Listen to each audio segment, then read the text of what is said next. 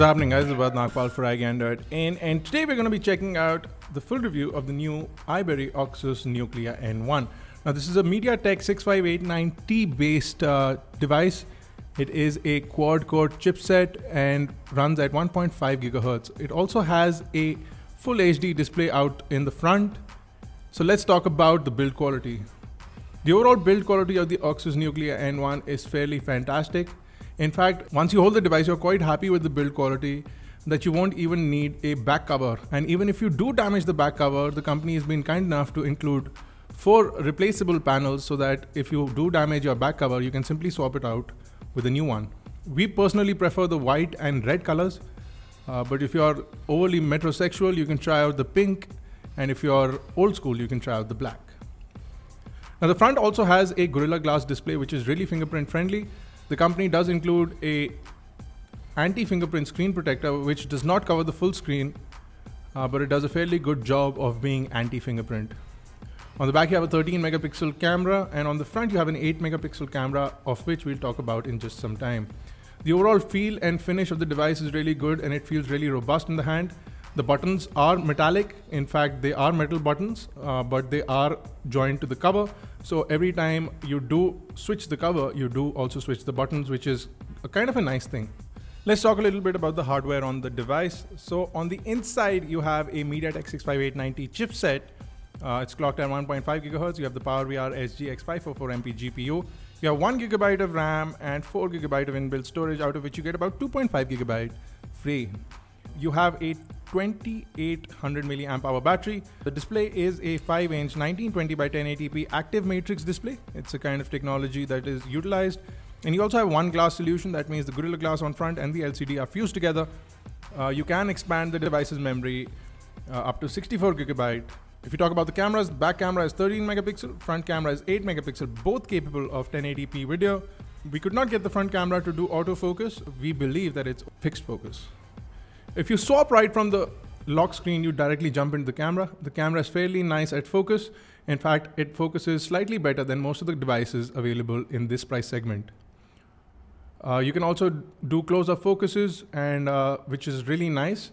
We saw that outdoor macro focuses were not that great, and we weren't able to get uh, good quality images uh, when we shot a subject which was up close and personal.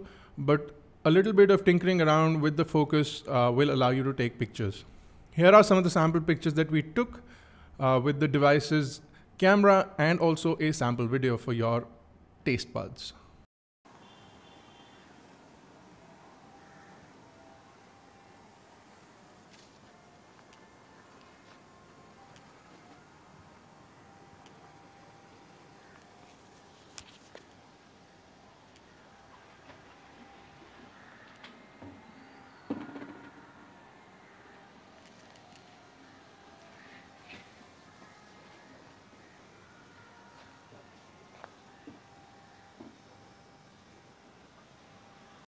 Now coming back into the camera, you have a normal shooting mode, an HDR mode, which allows you to take HDR pictures.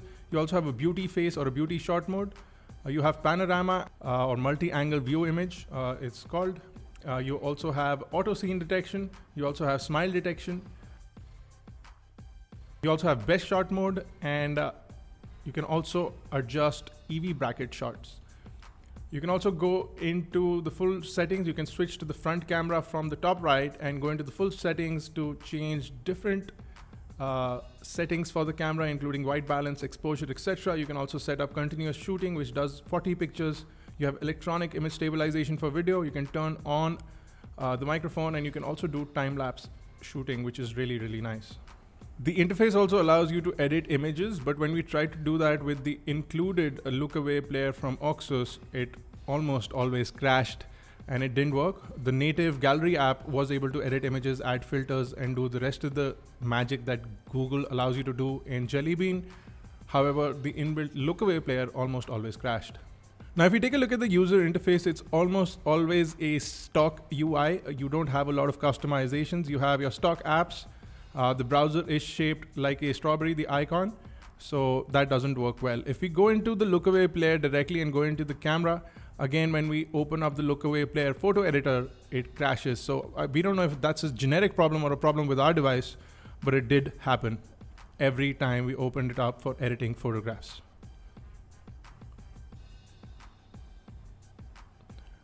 Now you do have file managers, uh, you do have root explorers, uh, root file managers, etc. because the device does come rooted and it works fairly well uh, with the fact that it is rooted. You can access all your database files, your root files, your uh, root folders, edit settings, modify settings, which is really good uh, for users who like to play around with their devices a lot. If you go into the browser, you'll see that it is a fantastic display on this device and it works really well uh, on the device especially if you're browsing websites, uh, the display will really come in handy uh, because the text shows up really crisp. The display is really nice. Viewing angles are great. Uh, you'll really enjoy the display on the device. Now, as you can see, you have Android Jelly Bean and you can quickly jump into toggles and switch away from uh, settings. Uh, you can also look at the notification panel over here and uh, remove your notifications one by one, or you can simply tap on this button over here to remove all notifications. Now, unlike other devices, One Touch Clean, when you hold down on the multitasking, does not remove uh, the running applications. And if you click on the task manager, it actually takes you to running services, which is a standard Android app. It does not allow you to quit running applications. So you'll have to quit all the running applications one by one. The browser, like I said, is really fast and responsive, works really well. You can pinch in and pinch out. Text is absolutely crisp. And uh, the overall responsiveness from the browser is great. So, as far as internet is concerned, online uh, performance is concerned, the iBerry Auxus Nuclea N1 will not disappoint. Now the multitasking button on the bottom right is actually a menu button. It looks like a multitasking button, but it's actually a menu button. So anywhere on the device, if you tap that button, it takes you to the menu. Holding down on the home button brings up the multitasking panel. And if you double tap on the home button, it brings up the multi-page uh, dashboard. You cannot access Google Now directly. In fact, Google Now doesn't even come installed on the device. You have to download it uh, from the Google Play Store.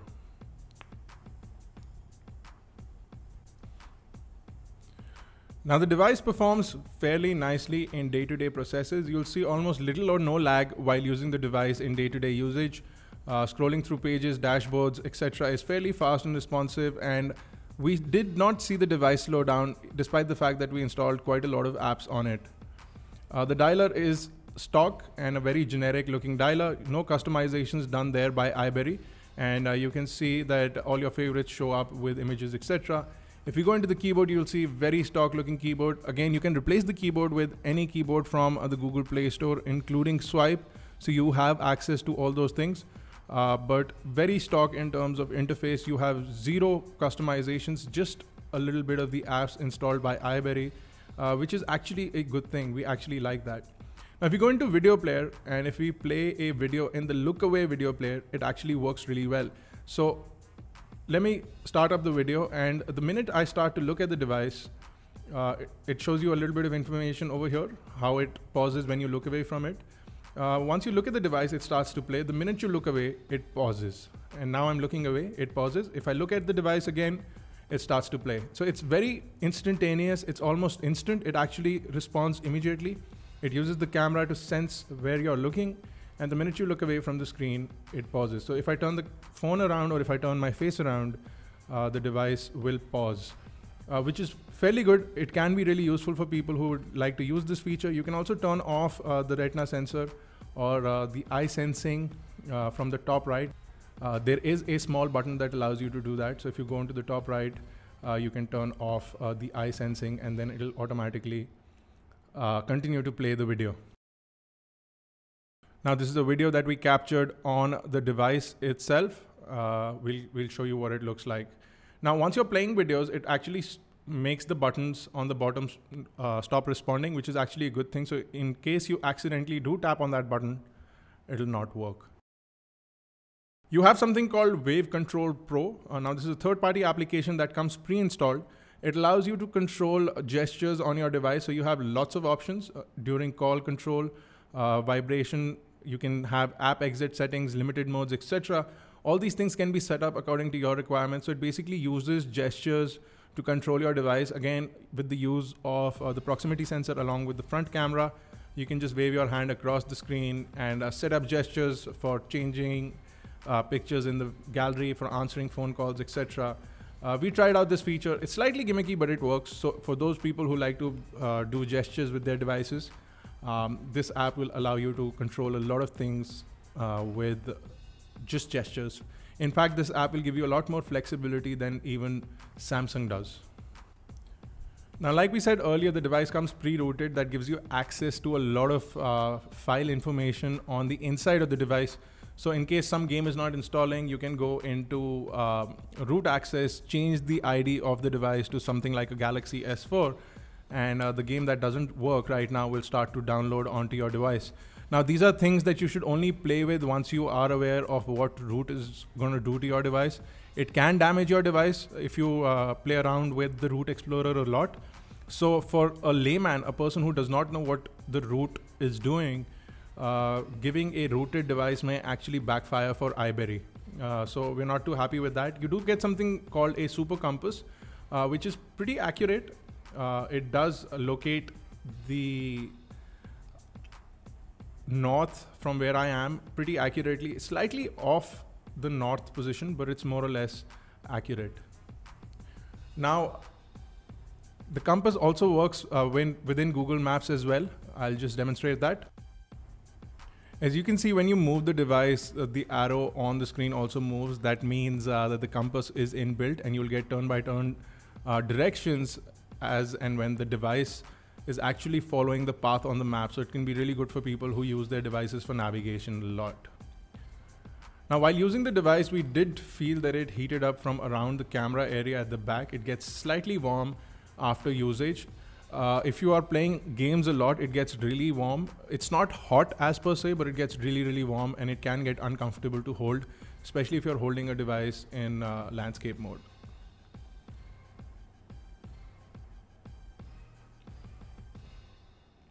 Now, overall, in terms of performance, uh, we saw that the device scored almost average. We weren't too happy with the overall benchmark scores. And if you're going to be doing gaming, we will not recommend this device to you guys because gaming does not work uh, really well. You can you can run games like Dead Trigger, you can run games like Virtua Tennis, they work fantastic. And in fact, if you're going to run games like Real Racing, um, like we showed in our previous video, Real Racing, Nova 3, and Asphalt 7, if you want to run games like those, they will also run, but provided you have only one of those games installed. Now, we did see a lot of people telling us that we uh, downrank the games. We somehow managed to manipulate the video.